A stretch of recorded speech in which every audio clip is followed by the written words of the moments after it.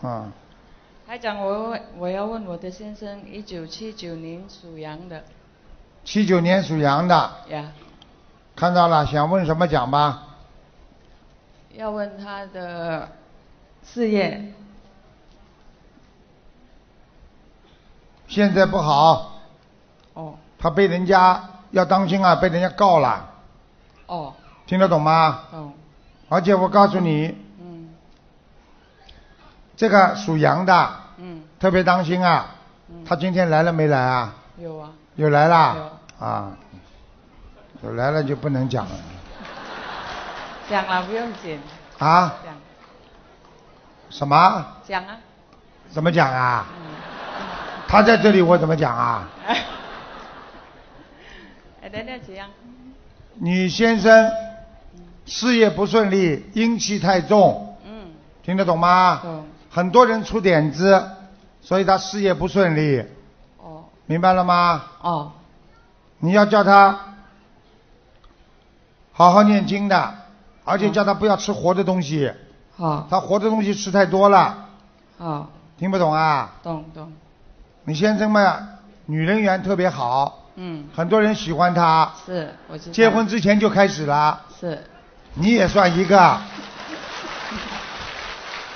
你要我讲真话，我看到都是讲给你听，因为你先生过去在你跟他结婚之前，他就有一个了，有后来你进去，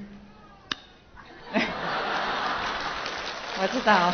对不对啦？对。台长说的准不准啦？准很准。啊，所以你现在多帮帮他，帮他念念经吧，明白吗？好。好好的帮他念经，好。好吧？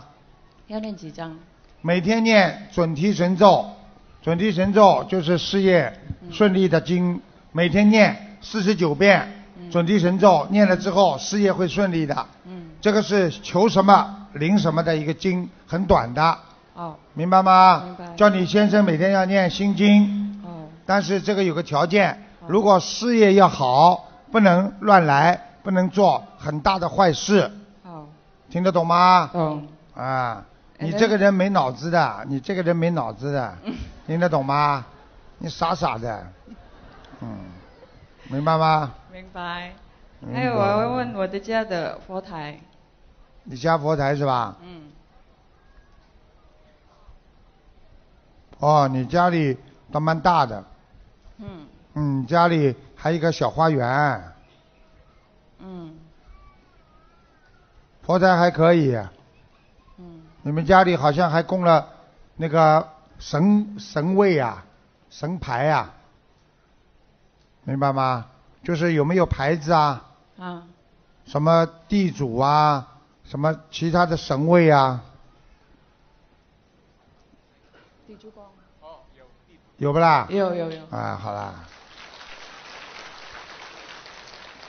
人。家里他家里蛮漂亮的，蛮大的，我还看到大理石。嗯。没。有了，在进门的时候，进门边上有不啦？哎呀，呃呃，是你的家还是我的家？那 搞都搞不清楚的，嗯，他没脑子的，他傻傻的。啊 老太长，我要问我，我要做什么功课？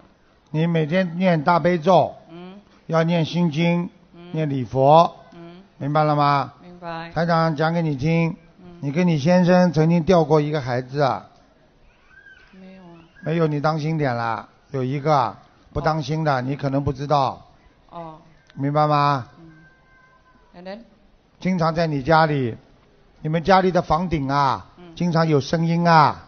是不是老鼠？。是，他说是老鼠啊。他灵性，他说是老鼠啊。嗯你这个人怎么这样啊？晚上我叫林星来看看你，好吧不？要。你说傻不啦？我刚刚说他傻的，听得懂吗？嗯。你你要拜佛要好好拜的，我看你拜佛不是好好拜，插完香就弄两下就走掉了，哎，对不对啦？对，